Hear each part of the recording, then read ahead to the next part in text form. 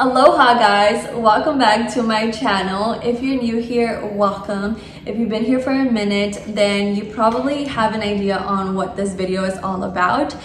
So let's just jump right into it. I do have prolactinoma, which is a benign tumor located in the pituitary gland, which is like somewhere at the base of the brain. It is not life-threatening. It's more of I don't even know how to explain it, but some of the side effects that it has is vision difficulties and infertility, which is like the main one, the main issue that people struggle with when they have this. So if you're interested at all, here's my little backstory to this and everything leading up to this video. I have always been irregular on my periods in 2011 around that year i was maybe 17 years old maybe junior year in high school, I stopped having my menstrual cycle for good. I went years without having it and at that time I didn't really care much about it just because I was young and I sort of saw it as a convenience to not getting pregnant. Also, this is not what it may look like. I burnt my neck curling my hair a couple of days ago and it actually still hurts to this day whenever I touch it lightly. Anyways, I then moved in with my husband five years later and he was the one who pushed me into getting seen so I was finally treated for it. And it turns out that I have prolactinoma. Immediately I was put on medication which is cabergoline and I will leave that down below just because I feel like that's always like the main question on what medication I was taking. After taking that, I got my first period after five years and all was good a year later, I got pregnant. Um, unfortunately, I had a miscarriage. Wow. I then immediately got into cabergoline again just to get the process going again to try and get rid of that tumor. We then moved to Germany and not gonna lie, things were a bit unclear over there just because it was a little bit difficult to get seen plus the German doctors. It was a bit hard, but to my understanding, everything was good. The tumor had almost shrunk to nothing, and maybe that's why they didn't see it because, again, they had mentioned that they didn't see anything, that if it wasn't for the notes, that they would have never known that I have prolactinoma, which that's what made things super unclear because I still wanted to take that medication because I felt like without it, I would not be able to get pregnant and but for them it was more like oh that's your decision if you want to jump back into that medication because from our books you don't have anything and you don't need it so it was more of a my decision and I went ahead and still asked for it. I started taking it again. I did end up getting pregnant in Germany and I now have a two-year-old baby girl. And then we left Germany and I ran out of my medication a month after leaving. We are now in Hawaii and I thought it would be a lot easier to get seen here. I thought it would be a lot faster for me to get the medication, but it wasn't, which you're going to see later on in this video, which is literally all about the last year of where I've been trying to get you guys an update because it's literally been an entire year from that moment that I ran out of my medication leaving Germany and till now. So felt like I definitely need to document this. Um, and I also just noticed this. I literally just left the house to make it to my clinic, but I didn't realize I was this close, so I got here in like three minutes, and I have 15 minutes to spare, so I thought I would just jump on here and document this because this is a process.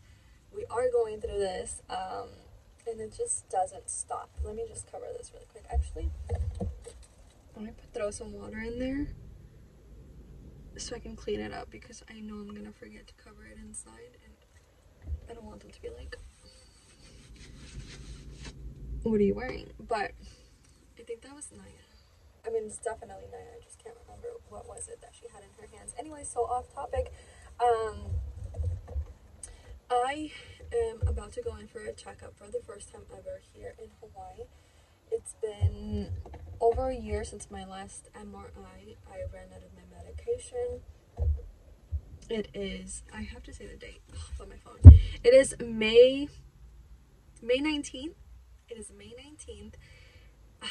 I stopped taking my medication this past December, which was like five months ago, four or five months ago. So initially I thought maybe I don't need that medication anymore and I can continue getting my menstrual cycle. However, I haven't. It's going on three months already since my last menstrual cycle. So I officially realized that I need that medication to get it.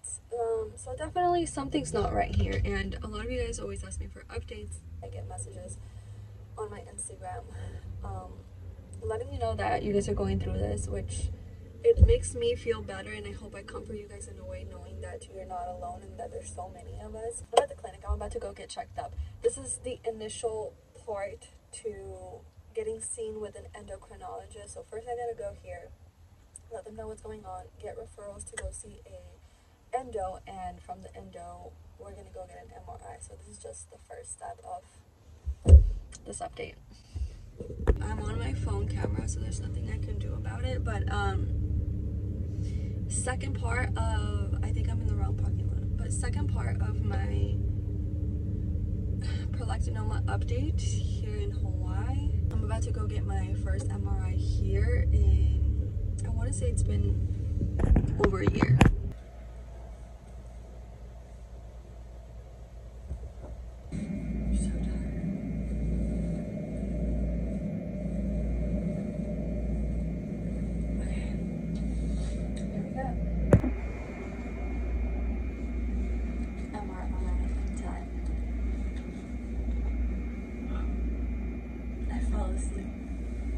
officially leaving Tripler. Got my MRI done. I legit fell asleep. I woke up to my head twitching. Not like crazy twitching, but I noticed it twitch because that's what woke me up. And so that set me back a good three minutes. it was kind of embarrassing because the guy was definitely like, okay, yeah, we're gonna have to go back and repeat this process again but all done with that it does take two days to get the results back and then I have to contact my provider and most likely see an endocrinologist. Look at this view. Getting here, I was like basically going on a hike. so gorgeous. Oh. All right, Starbucks time. Is this not the prettiest hospital ever? And the view is chef's kisses, although I did give birth in Germany with the castle out the window. That looked pretty interesting. I don't know why I'm being so emotional right now, but I finally started my period after three weeks of taking the medication already. I was doing updates. I'm not even gonna add those clips to this video because they were really nothing. I was just me coming on and saying day one, day four, week two. After week two, I stopped doing the updates just because I was honestly starting to feel sad. I was starting to believe that my period was never gonna come again. I don't know why. And every single time that I felt a little something, I would rush to the bathroom right away. And I would honestly be disappointed when it wasn't that. Um, and I finally got it today. And I literally started crying. I'm just so happy. So, um, so it is April and I started taking the medication last month, March 13th, I want to say so it has been just about three weeks and I'm, I'm just i'm so excited for some reason. Like this just gives me this just obviously i've said it before you guys know that i i don't know. I'm i'm feeling so emotional. I haven't been able to say 100 percent that i want a second child and that is because i've been scared. But come here mama. Mommy just got my blood drawn for the third time. So here's where we're at. We are healthy-ish. We still have plans to get, it's not an MRI, it's like the, the heart one. The doctor just wants to make sure that because I've obviously been taking cabergoline for, I mean, I started in maybe like 2017 it's been years already so they just want to make sure that it's not affecting anything in my heart. I didn't know that taking cabergoline had effects in the long run. I don't remember hearing this. Like i feel like the first doctor who ever told me about cabergoline he was like you can take it for the rest of your life basically. So that is a little bit concerning. I feel like i'm fine um, but obviously we're gonna go get that done just to make sure. But overall I feel like we're at a good spot where I can give you guys officially an update and that I am healthy. I am back on cabergoline I've been taking it for four weeks already. I've had one period. It did take me I don't remember now but I feel like it took me three weeks to get my period which I was really scared that I wasn't gonna get it but then again they did give me a smaller dosage this time. They gave me 0.25 mg and before I was at 0.50 and then before that I was at 1 mg so I am definitely taking like a smaller dosage. It's like 25% of what I was taking in the beginning. So I'm thinking that's the reason why it took me that long to get my period but I'm happy that I officially have it and let's go home so I can give you guys the rest of this update. Obviously, we're back on track now. I am officially on my second menstrual cycle since getting back on the medication. The tumor is still there, but it is almost non-existing. So that's where we're at right now. You guys saw in the clip where I was feeling very emotional after getting my first